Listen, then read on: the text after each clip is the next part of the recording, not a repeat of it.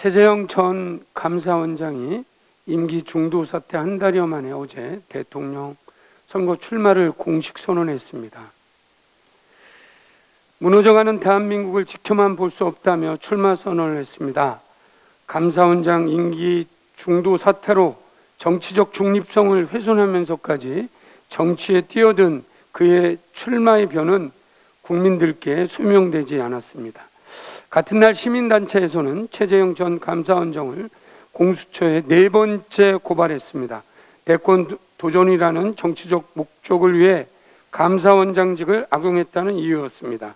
시민단체는 최전 원장이 지난해 4월 퇴임한 이준우 전 감사위원회 후임으로 김우수 전 차관을 재청 요구했으나 친역, 친여 인사라 감사원의 정치적 중립선을 훼손 시킬 수 있다는 사유로 재청권을 재청권 행사를 9개월간이나 거부했고 공석이 장기화되었다고 주장합니다. 체로남불입니다. 전형적 내로 남불입니다. 또한 국정 현안을 묻는 질문에 앞으로 열심히 공부하겠다는 최 전 원장의 답변은 올림픽에 출전할 선수가 이제 연습을 해보겠다는 것과 다를 바 없습니다.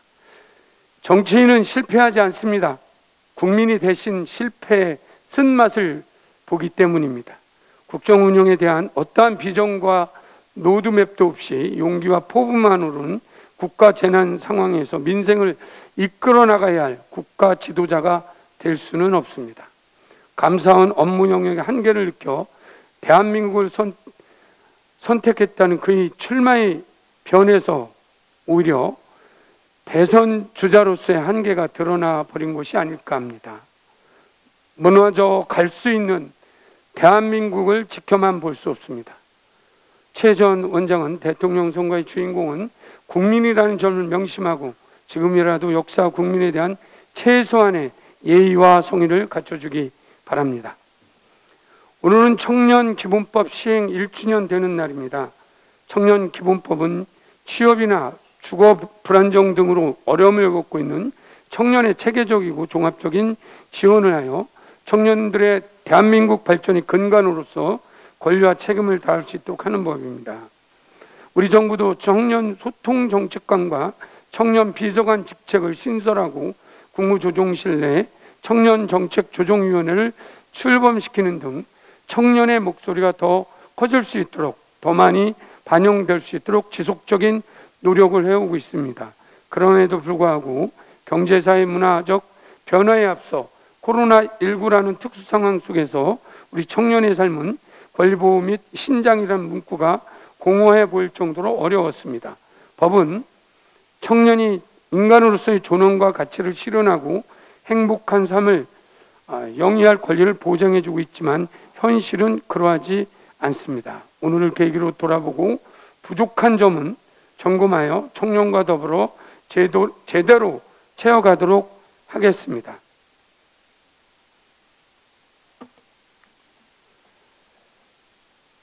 위기 소상공에 대해서 촘촘히 살피도록 하겠습니다.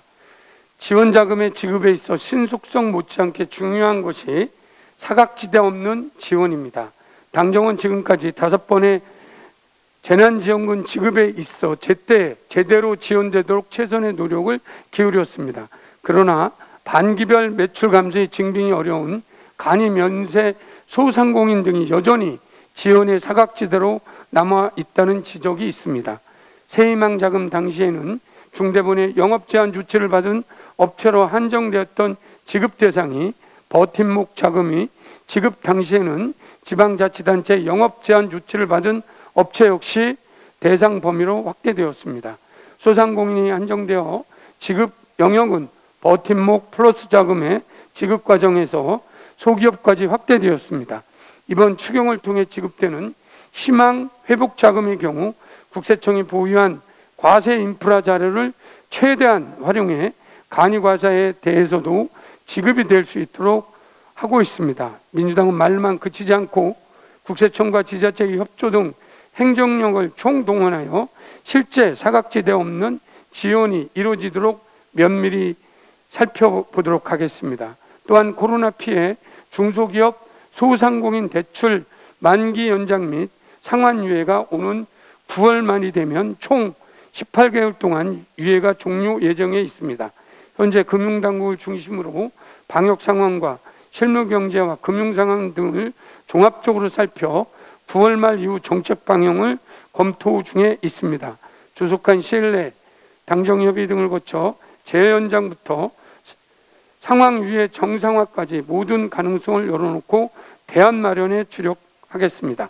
무엇보다 중요한 것은 소상공인들이 이 어려움을 극복하고 안착하는 것인 만큼 향후에 상환의 부담을 최소화하는 연착륙 방안도 심도 있는 논의를 통해 마련토록 할 것입니다. 마지막으로 아, 7월 소비자 물가가 전년 동월 대비 2.6% 상승하면서 물가 상승에 대한 우려가 발생하고 있습니다. 농축산물, 석유류 등의 가격 강세가 지 속되고 있고 여기에 전기, 수도가스 요금의 상승 전환과 여름 휴가철의 시작으로 관련 서비스 물가마저 상승하여 6월 대비 오름폭이 확대되었습니다. 또한 매년 이맘때면 폭염, 태풍 피해까지 겹쳐 장바구니 물가마저 오름 추세라 국민 부담과 걱정이 크시다는 것을 잘 알고 있습니다. 벌써 다음 달이면 민족 대명절인 추석이 다가오고 있습니다. 장바구니보다 마음이 더 무거워진 일이 없도록 아, 민주당의 생활 물가 안정을 위해 각별히 관리하겠습니다. 아, 특히 가격 강세가 지속되는 계략 가격 안정을 위해 월 1억 1억 개씩 충분한 물량을 지속 수입하는 수입하는 한편 유통 과정의 가수요 억제를 위한 유통 관리를 강화하겠습니다. 그제는 홍남기 경제부총리가 도매 시장과 대형 마트를 찾아 현장을 점검했고 오늘은 송영길 대표가 직접 마트를 방문하여 밥상 물가 점검에 나설 예정입니다. 당정이 합심하고 물가 관리 차관 회의를 중심으로 지자체와 농협 등 유관 부서와의 긴밀한 공조를 통해 생활 물가 관리에 최대한의 역량을 집중하겠다는 약속을 드리겠습니다. 윤석열 전 총장의 방역 수칙 위반이 참으로 한심합니다. 어, 지난 월요일 윤 전 총장은 국회의원회관 국민의힘 의원 사무실을 일일이 방문하였다고 합니다. 어, 명백한 코로나 방역 수칙 위반입니다.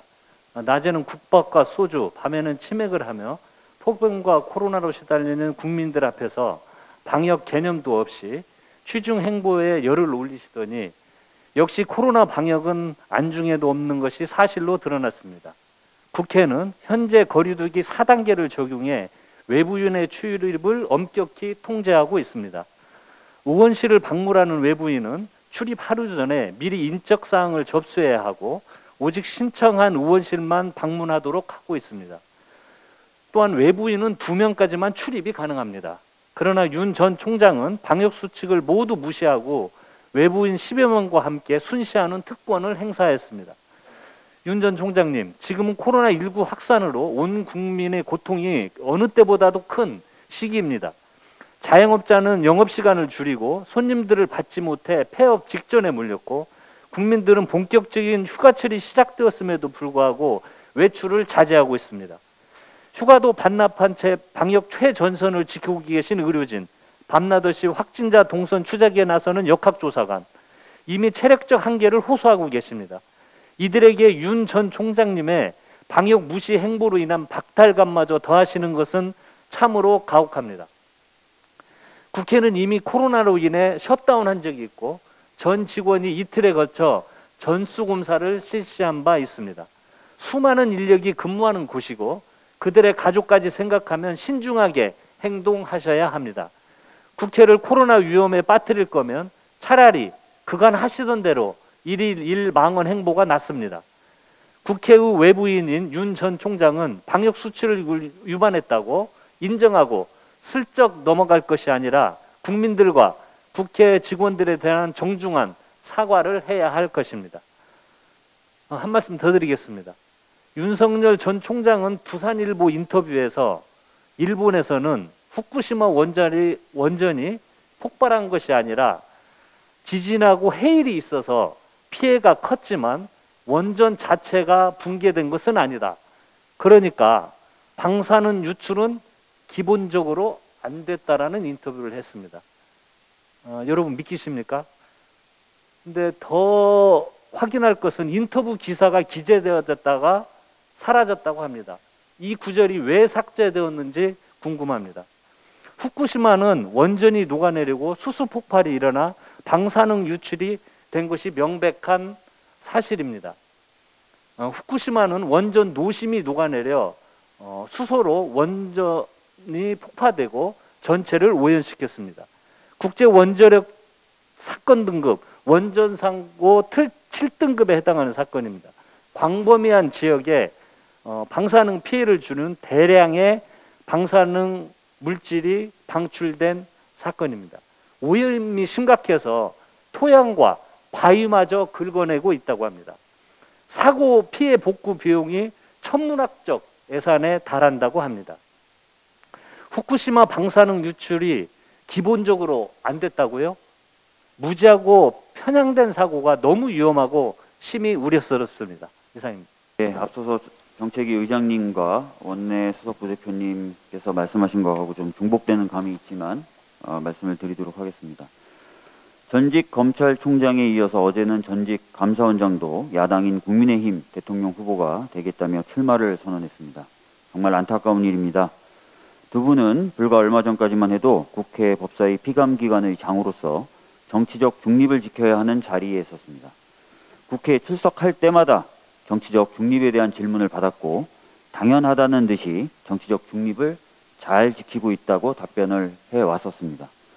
그러던 두 분은 불현듯 아, 직을 던지더니 어느 순간 야당의 품에 안겨 정부 비판에 열을 올리고 있습니다. 이렇게 하루아침에 손바닥 뒤집듯 정치적 입장이 바뀌면 두 분이 해왔던 수사나 감사의 정치적 중립성을 국민들이 어떻게 믿겠습니까?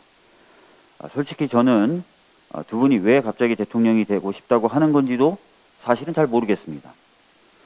윤 전 총장의 세계, 세계관은 완전히 19세기에나 가능했을 법한 과거에 갇혀 있고 방사성 물질이 다량 유출되어 국제 원자력 사건 등급 7등급에 해당하는 후쿠시마 원전 사고에 대해서는 방사성 물질이 기본적으로 유출되지 않았다고 해서 국민을 불안하게 하고 있습니다. 최 전 원장은 기자들의 질문에 자신은 전혀 준비가 되어 있지 않다고 실토하고 있는 상황입니다. 도대체 두 분은 무슨 자신감으로 이러시는 건지 이해가 안 됩니다.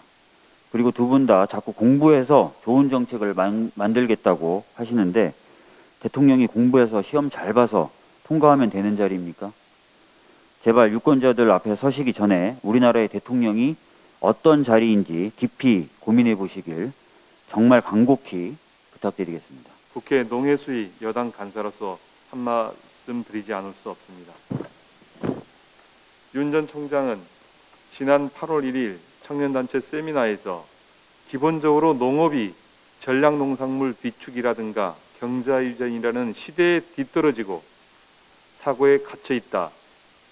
농지나 토지 소유 범위 제한이 있으면 농업을 기업 형태로 끌고 가기 어렵다 라고 발언했습니다. 경자유전의 원칙은 헌법이 보장하고 있는 원칙으로 많은 나라에서 채택하고 있는 헌법적 가치입니다. 지난 LH 사태에서 알 수 있듯이 오히려 문제는 경자 유전의 원칙이 심각히 훼손되어 먹거리 생산을 위해 소유하고 이용돼야 할 농지를 투기 세력과 가짜 농민이 매입하여 실제 영농에 종사하는 진짜 농민들은 임차농으로 전락하는데 문제가 있습니다. 이미 임차농의 비율이 50%에 달하고 있습니다. 이 사실을 윤 전 총장은 알고 있는지 모르겠습니다. 특히 기상 이후로 지난해와 올해 농산물 생산이 감소하였고 이것이 곧바로 물가 급등으로 이어지고 있습니다. 윤 전 총장의 발언은 식량 자급률이 OECD 최하위권인 20%에 불과한 우리 현실을 전혀 고려하지 않은 망언이라고 할 수 있겠습니다.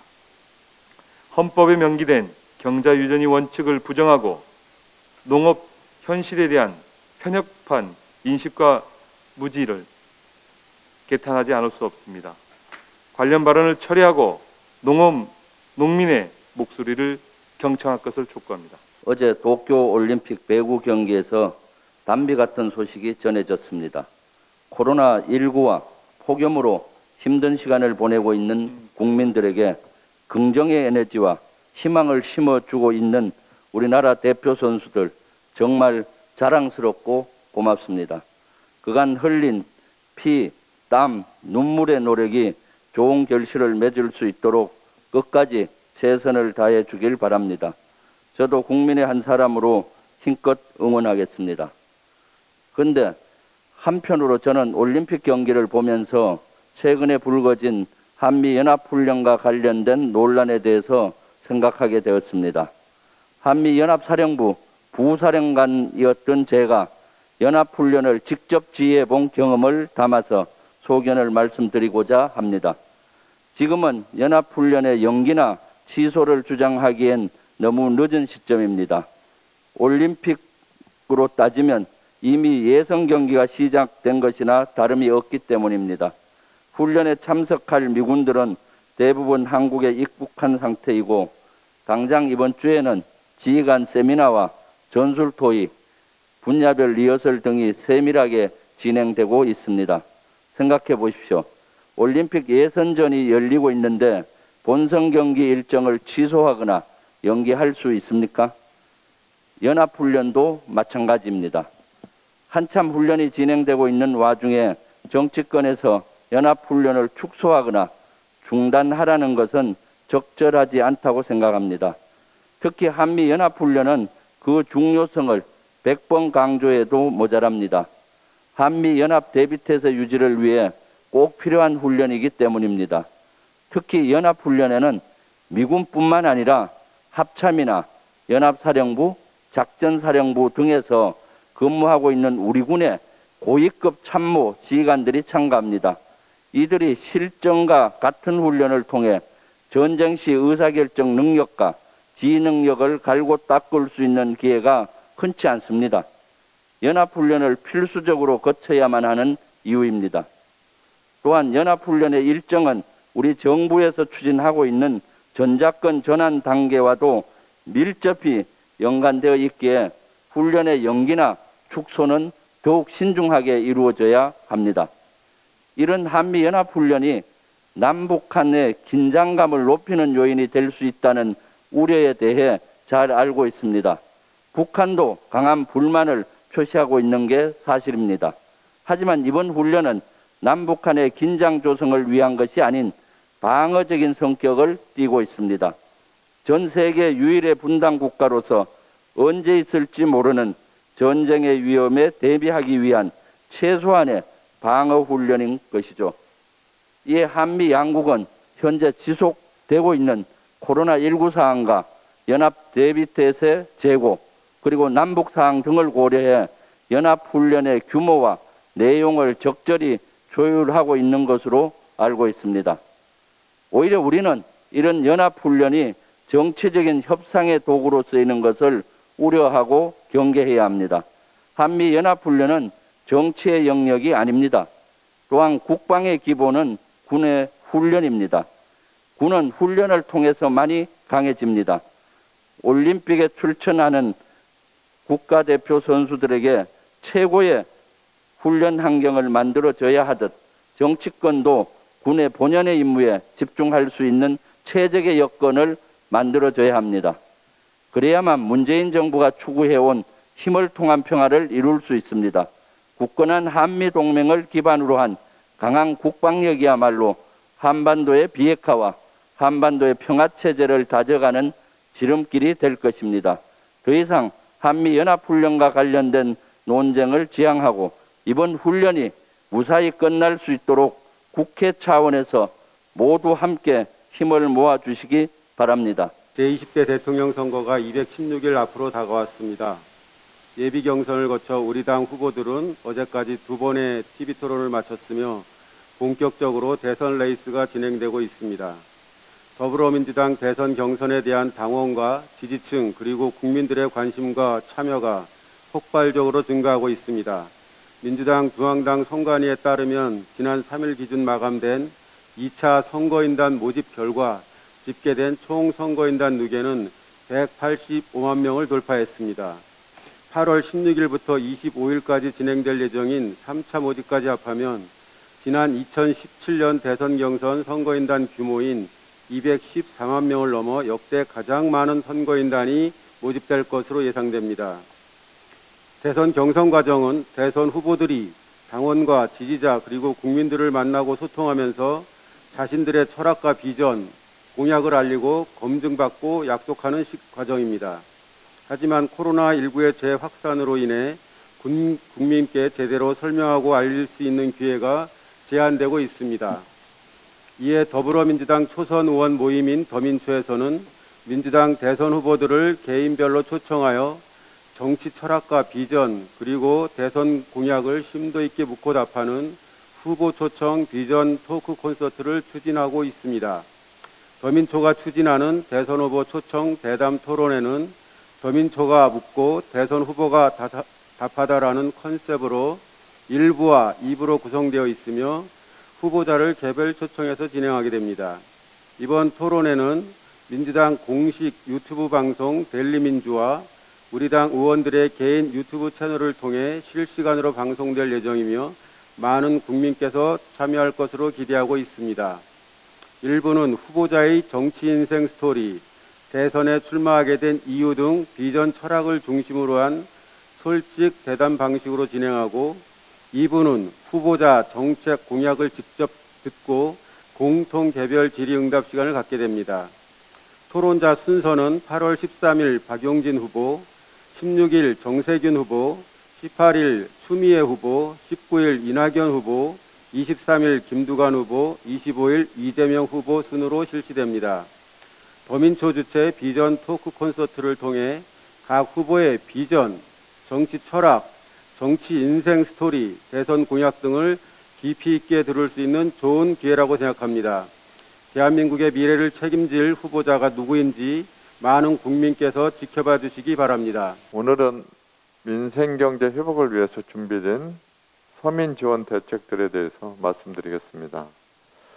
오늘부터 중소벤처기업부는 1조 원 규모의 중저신용 소상공인 특례 보증을 실시합니다. 매출 감소로 인해 버팀 목 자금 플러스를 받은 일반 업종의 신용 등급 4등급 이하 중저신용 소상공인이 지원 대상입니다. 소상공인 여러분께서는 지역 신용보증재단의 심사를 통해서 5년간 1인당 최대 2천만 원까지 지원받을 수 있습니다. 대출금 연체 이력이 있어도 보증심사일 기준으로 연체가 해소됐으면 보증 지원이 가능합니다. 그간 집합 금지, 영업 제한 등 행정 명령을 이행한 특정 특별 업종에 대한 피해 지원 프로그램에 비해서 상대적으로 일반 업종에 대한 지원이 부족했다는 의견을 반영해서 이번 2차 추경에서 예산을 확보한 결과입니다. 금융위원회도 올해 상반기 동안 햇살론 17, 새희망 홀씨 등 정책 서민 금융 상품을 통해서 저소득, 저신용 국민 41만 명에게 4조 6,823억 원의 자금을 지원했습니다. 지난해 동기 대비 2만 2,252명이 더 지원받았고 공급액은 4,677억 원이 늘어난 수치입니다. 코로나19의 장기화로 인해서 서민들의 어려움이 가중되고 있고 정책 서민금융 상품의 수요가 증가함에 따라서 올해 정책 서민금융 공급액도 9조 6천억으로 대폭 상향할 방침입니다. 예, 기존 사업 중에는 근로자 햇살론 공급을 1조 원, 저소득 청년을 위한 햇살론 유스 공급을 1천억 원 확대합니다. 지난 7월부터 신규 사업으로 연 20%를 초과하는 기존 고금리 대출의 대환을 위한 안전망 대출 2와 은행권 정책 서민금융상품 햇살론 뱅크를 각각 3천억 규모로 공급해 왔습니다. 다가올 10월 중에는 500억 원 규모의 여전업권 정책 서민금융상품의 햇살론 카드도 새롭게 공급할 계획입니다.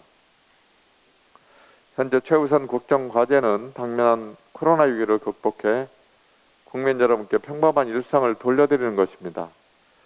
다행히 대한민국의 국가 신용 등급과 역대 최고치를 기록한 7월, 7월 수출액 등 최근의 여러 경제 지표들은 긍정적입니다.